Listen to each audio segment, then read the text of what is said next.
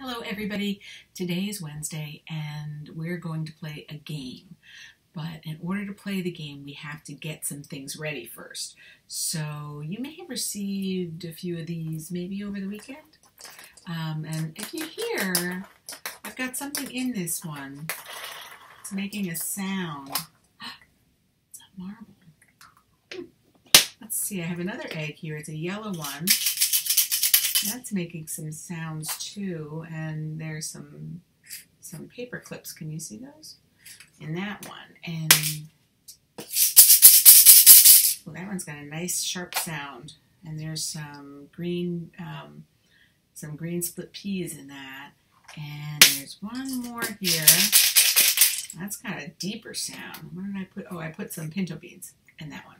So those are four very specific sounds. And you have different things in your house that you might want to use. These are just the things that I chose to put in these eggs.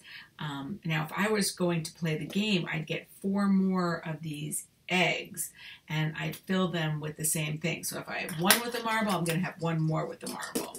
One with paper clips, I'm going to have one more with paper clips. One with this with the um, with the split peas, another one with the split peas, and this one has pinto beans. I'm going to have another one with pinto beans, but I only have four eggs, so I couldn't really do um, show you the, the way the game would work, um, but I'll explain it.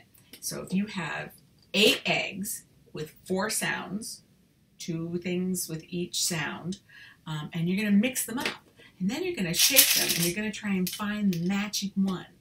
So you're going to find the one that sounds like that. No, that's not it.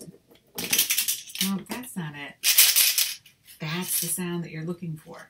So you're going to try and play that game. And you can play that game with grown-ups. You can play that game with brothers and sisters, um, any people you have in the house with you. It's kind of a fun way to practice your hearing and um, to see if you can figure out the different sounds and how they, some of them just sound a little bit different, but some of them might sound a lot different.